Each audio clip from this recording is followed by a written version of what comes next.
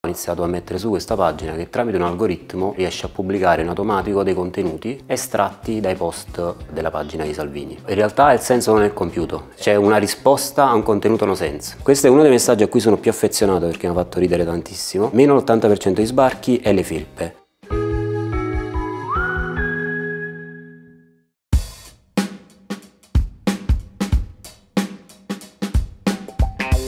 Negli ultimi anni, seguendo un pochino i flussi di comunicazione, commenti, l'engagement che produceva la pagina ufficiale del ministro Salvini, mi sono reso conto che c'erano delle cose che non mi tornavano, cioè dei numeri sproporzionati o dei commenti magari molto spesso fuori contesto.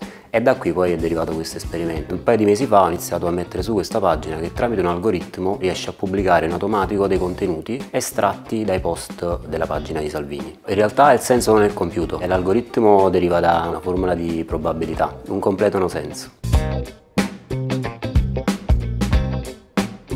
Questo è uno dei messaggi a cui sono più affezionato perché mi ha fatto ridere tantissimo. Meno l'80% di sbarchi e le felpe. Questo pure è carino. Secondo voi è normale avere italiani di serie A e serie B affinché gli stadi e i nostri figli crescano con latte, riso, olio, arance e pomodori italiani? Questo è stato condiviso 220 volte. In diretta dal Ministero dell'Interno ha già fatto abbastanza danni al paese, facendolo invadere per anni e appena rinnovato la testa della Lega.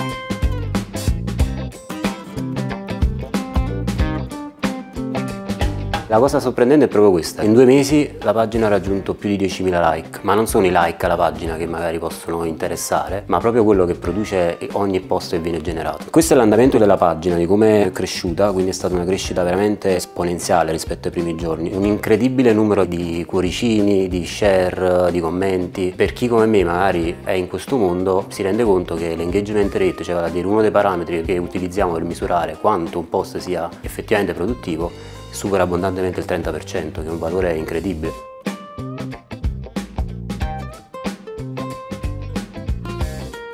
I commenti sono del tipo siamo con te, continua così, c'è una risposta a un contenuto no sense e addirittura è successo che alcuni post qualcuno si lamentasse della non chiarezza diciamo, del, del, contenuto e le persone lo andavano ad attaccare per proteggere quello che poi è l'icona Salvini, il capitano. No?